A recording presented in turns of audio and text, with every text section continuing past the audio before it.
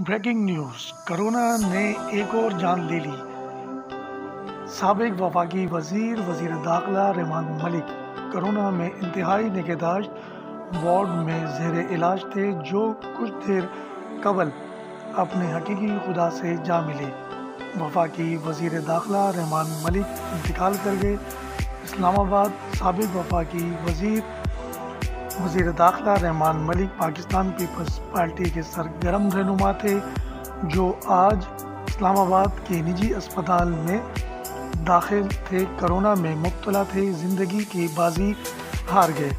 वो काफ़ी अरसे से पाकिस्तान पीपल्स पार्टी में एज ए सैनिटर थे और आज कोरोना से जंग हार कर वो अपने हकीकी खुदा से जा मिले। इंतहाई अफसोसनाक खबर, पाकिस्तान पीपल्स पार्टी के सैनिटर पाकिस्तान वफाकी वज़ीर, सबक वफाकी वज़ीर दाखिला रहमान मलिक इंतकाल कर गए। ये करोना में मुबतला थे। फेफड़ों में ख़राबी की वजह से आज इंतहाई निगहदाश वार्ड में जेर इलाज थे, जो आज हम में नहीं रहे। इंतकाल कर गए।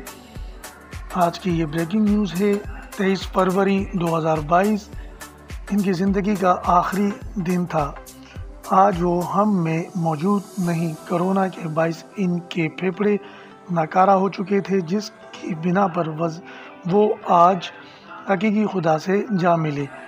दो रोज़ कबल उनको वैक्सीनेटर पर रखा था, जो आज अपनी ज़िंदगी की बाजी हार गए और वो इंतकाल कर गए।